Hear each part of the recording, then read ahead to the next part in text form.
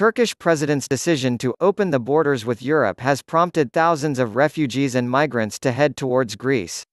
The EU's leaders are heading to Greece on Tuesday to witness a burgeoning political crisis that has cabooshed what should have been a triumphant week for Brussels. Before this weekend, the European Commission had been gearing up for the grand unveiling of its landmark climate law on Wednesday. The carefully crafted choreography included inviting Greta Thunberg into the heart of the Brussels machinery for photo ops and handshakes, before Ursula von der Leyen presented a beefy strategy to make Europe the world's first climate-neutral continent. But Recep Tayyip Erdogan had other plans. The Turkish president's decision to open the borders with Europe over the weekend has prompted thousands of refugees and migrants to head towards Greece in the last 72 hours and gazumped Brussels' good week.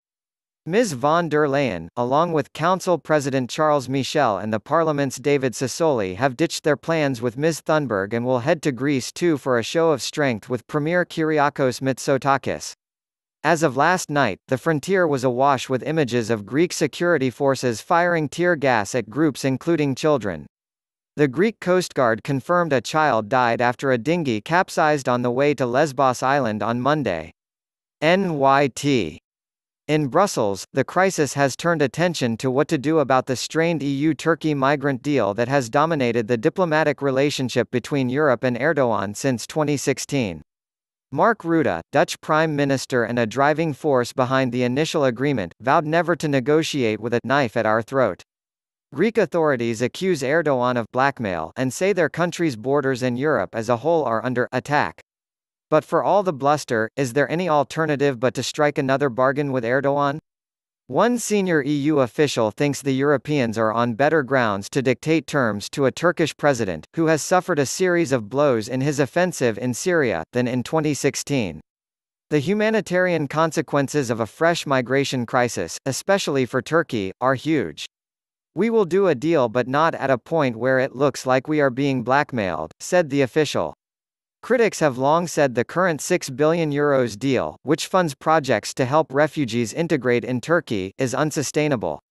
Kati Piri, a Dutch Labour Party MEP, says Brussels is now paying only lip services to the accord. There has been no willingness whatsoever from the EU side to continue the financial agreement beyond the 2016 pledges, she notes. Aid wasn't even included in the Commission's proposal for the EU future budget. Funding for 500,000 Syrian school children ends this September.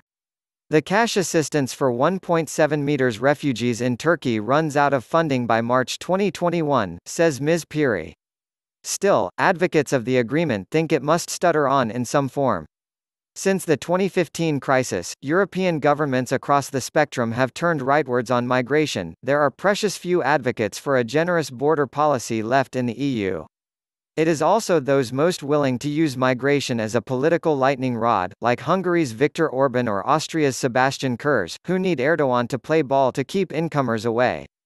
Observers note that without détente, the EU's claims to being a normative power will be shredded as its governments hit the bounds of international law. Gerald Knaus, chairman of the European Stability Initiative and one of the architects of the 2016 Turkey deal, notes that Greece's decision to suspend asylum applications for a month mimics the nativist fantasies of Mr. Orban and other populists. This is a dream of Donald Trump and it is the European Union that is currently practicing it, says Knaus. This could be the year that the EU's support for the UN Convention on Refugees dies. Europe's traditional investment banking giants are taking a battering in the US. The EU is being urged by the European Parliament's centre-right group to revise its rules to foster the development of European corporate champions as the Commission prepares an industrial strategy paper next week, writes Sam Fleming. Manfred Weber, head of the European People's Party, and Esther de Lange, vice chair, have written to two top commissioners saying the competition framework needs to allow sufficient flexibility for EU champions to emerge and flourish. The letter, seen by the FT, is addressed to Commission Executive Vice President Margrethe Vestager and to Thierry Breton, the Internal Market Commissioner. The EP wants Brussels to be ready in exceptional cases to allow mergers that would create pan-European champions similar to the rail group that would have been formed had Vestager not blocked the Siemens Alstom tie-up last year. The letter also urges the commissioners to do more to address the imbalances in the economic relationship with China, under which state-backed companies have more access to European markets than vice versa. It says, Updating our competition framework should not be taboo, nor an issue we Europeans should shy away from.